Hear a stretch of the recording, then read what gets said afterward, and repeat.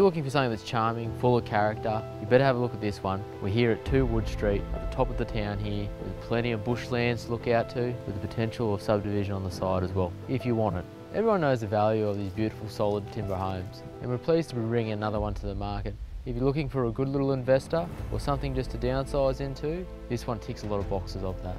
Two bathrooms, two bedrooms, big backyard, good sized corner block, not too many neighbours, and a quiet street of Tenterfield.